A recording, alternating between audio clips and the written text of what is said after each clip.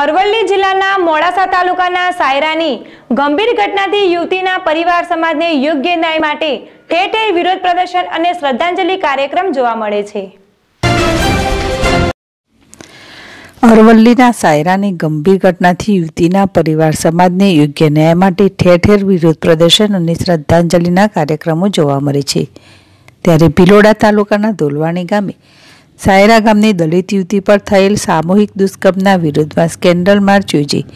કાજલબેનને ન્યાય આપો અને હત્યારાઓને ફાંસી આપોના નાદ સાથે જન આક્રોશ વ્યક્ત કરવામાં આવ્યો. શરીફ મંસૂરી જેડેસટી વિલોડા.